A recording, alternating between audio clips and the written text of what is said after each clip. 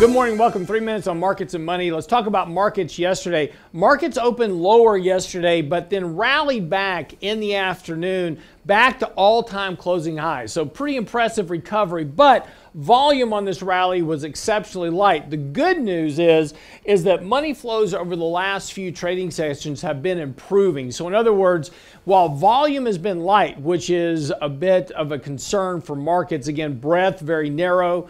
Uh, markets are very driven by smaller groups of stocks, of course, but the overall demand for buying, right? So people bidding up in prices has been positive. So money flows has been improving, but again, markets holding up here, making marginal new highs at this point. Now, this morning markets are going to open a bit lower. We're going to probably try to retest the 20 day moving average here at the open. We'll see what happens.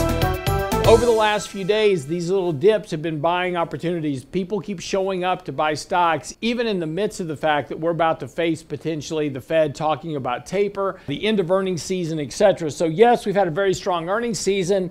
Didn't really get paid for it very much, though, despite the fact that markets are hitting new highs. Again, it's been marginal, uh, despite the fact we've had one of the strongest earnings seasons really kind of on record. Uh, one of the bigger concerns here, of course, is that our money flow signals are getting very extended here again. Uh, we're very long in the cycle without a correction, and normally these periods of advance in the markets have been resolving themselves into a retest of the 50 day moving average repetitively here over the last several months. So, again, we're about at that point that markets have kind of exhausted their current move higher. So a retest of the 50 day moving average certainly well within norms right now. That's about a 3.5% decline from yesterday's peak. The thing here to watch, though, is the 10 year Treasury. That continues to tell us that we are in a weaker economic environment ultimately as yields continue to fall.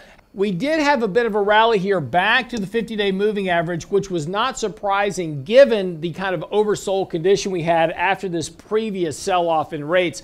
But again, that resolved itself into basically more buying into bonds. We're seeing rates fall back here to below support. And again, about to trigger another buy signal for bonds. Again, this suggests that economic growth is weaker than expected and potentially is denoting a shift in risk preference from risk on to risk off. Again, markets have been making marginal new highs, but in light of marginal new highs, bonds have had a very, very strong rally. So again, this risk on, risk off preference clearly showing up on the fixed income side of the ledger.